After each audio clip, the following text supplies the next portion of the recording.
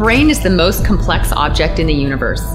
Decades of research, billions of pounds of funding, yet we've barely even begun to understand it. We can see general brain activity, but the truth is we don't know how or why it's happening. We're just starting to learn how decisions are made and how emotion is regulated. Imagine the brain as a library and the neurons as books. We don't know what the books say or even what language they're written in.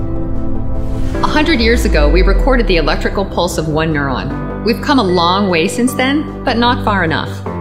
Because there are 70 billion neurons in each of us, to even begin to understand the complexities of the brain, we need to measure countless single neurons all over the brain at the same time.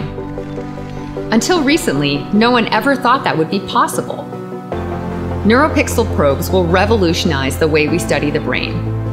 They're tiny, super sensitive electrodes that can record the pulse of multiple single neurons from multiple brain regions, and on the same probe, process and digitize those signals. This has never been done before.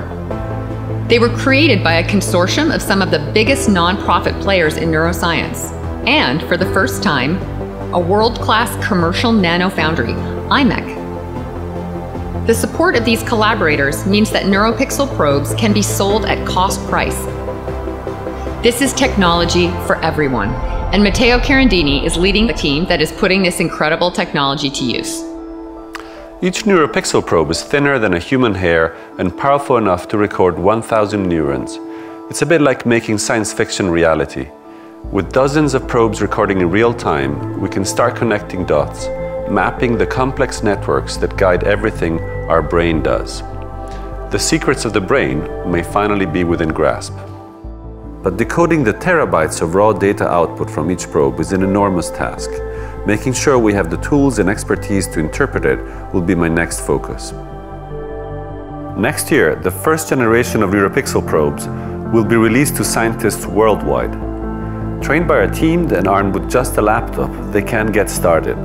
The work that we've done may change the way we understand everything about the brain, from decision making to eyesight to psychiatric disorders. At the International Brain Laboratory, we are coordinating this global effort. Labs across the world will each be using NeuroPixel probes to study a different area of the brain as a mouse performs a standardized task, foraging for food. Using techniques that were refined in Matteo's lab, we can record and share our data in real time. This global collaboration heralds a new democratic era in neuroscience because collectively, finally, we'll be able to look at exactly what's happening throughout an entire brain. Soon, this ability will start to address long standing unanswered questions in medicine about how disorders such as depression or diseases like Alzheimer's alter our neural circuits, or even tell us how we could one day cure these diseases completely.